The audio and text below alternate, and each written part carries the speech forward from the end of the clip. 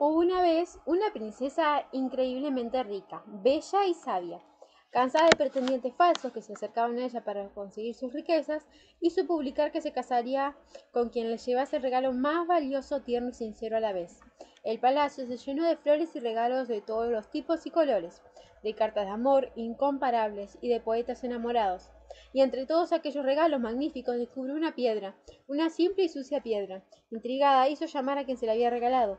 A pesar de su curiosidad, mostró estar muy ofendida cuando apareció el joven y éste se explicó diciendo Esa piedra representa lo más valioso que os puedo regalar, princesa, es mi corazón.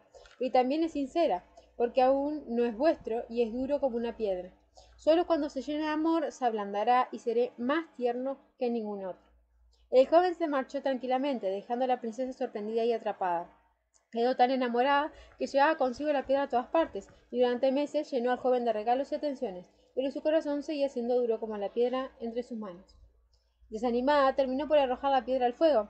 Al momento vio cómo se deshacía la arena, y de aquella piedra tosca surgía una bella figura de oro. Entonces comprendió que ella misma tendría que ser como el fuego y transformar cuando tocaba, separando lo inútil de lo importante. Durante los meses siguientes, la princesa se propuso cambiar en el reino, y, como con la piedra, dedicó su vida, su sabiduría y sus riquezas a separar lo inútil de lo importante.